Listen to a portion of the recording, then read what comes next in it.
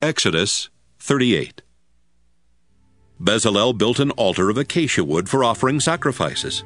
It was seven and a half feet square and four and a half feet high, with each of its four corners sticking up like the horn of a bull, and it was completely covered with bronze. The equipment for the altar was also made of bronze the pans for the hot ashes, the shovels, the meat forks, and the fire pans. Midway up the altar, he built a ledge around it and covered the bottom half of the altar with a decorative bronze grating. Then he attached a bronze ring beneath the ledge at the four corners to put the poles through.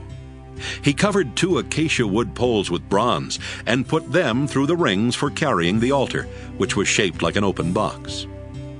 Bezalel made a large bowl and a stand out of bronze from the mirrors of the women who helped at the entrance to the sacred tent. Around the sacred tent, Bezalel built a courtyard 150 feet long on the south and north, and 75 feet wide on the east and west. He used 20 bronze posts on bronze stands for the south and north, and 10 for the west. Then he hung a curtain of fine linen on the posts along each of these three sides by using silver hooks and rods.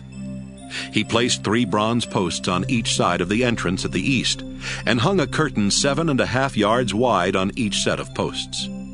For the entrance to the courtyard, Bezalel made a curtain ten yards long, which he hung on four bronze posts that were set on bronze stands.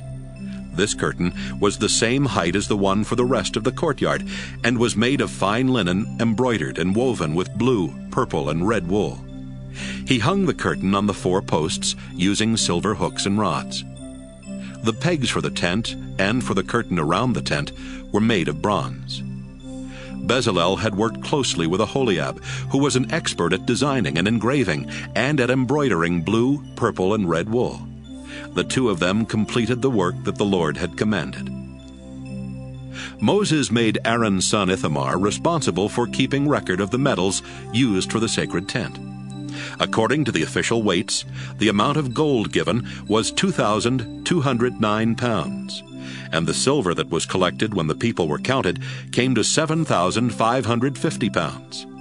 Everyone who was counted paid the required amount, and there was a total of 603,550 men who were 20 years old or older. 75 pounds of the silver were used to make each of the 100 stands for the sacred tent and the curtain. The remaining 50 pounds of silver were used for the hooks and rods and for covering the tops of the posts.